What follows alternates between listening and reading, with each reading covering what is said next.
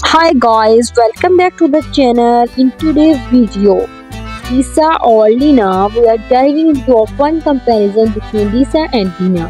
And we are taking a close look at all their adorable choices from dresses and shoes to toys, makeup and bags.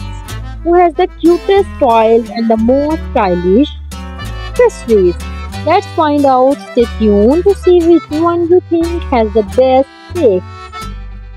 We are doing a fun style showdown between Lisa and Lena.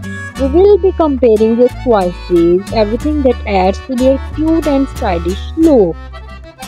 And don't forget to hit that like button, comments and subscribe for more amazing videos. Thanks for watching.